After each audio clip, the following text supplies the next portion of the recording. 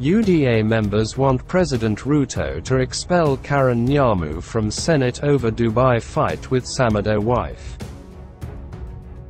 A section of UDA party members are calling for the expulsion of Karen Nyamu from Senate, where she serves as a nominated senator.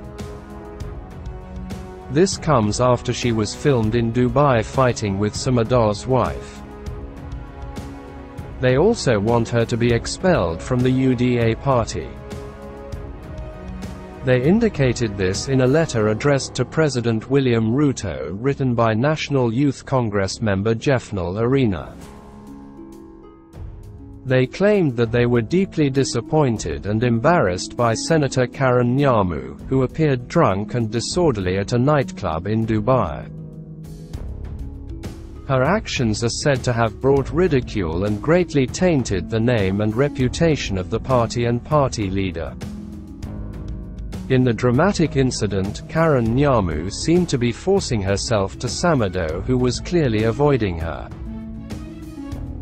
At one point, she went on stage as Samidoh was performing, and the musician requested the security to remove her. It was while Samidoh and his wife Edday were sitting together that things got ugly. When Karen Nyamu tried to sit between them. Later, Karen justified her actions by saying that she had spent the night with Samidoh. And yet he was hiding her when his wife Edday appeared in the club. She also blamed alcohol for her wild behavior.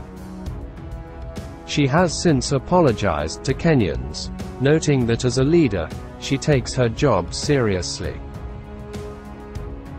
Karen Nyamu has also said that she is done chasing Samidoh, who is the father of her children.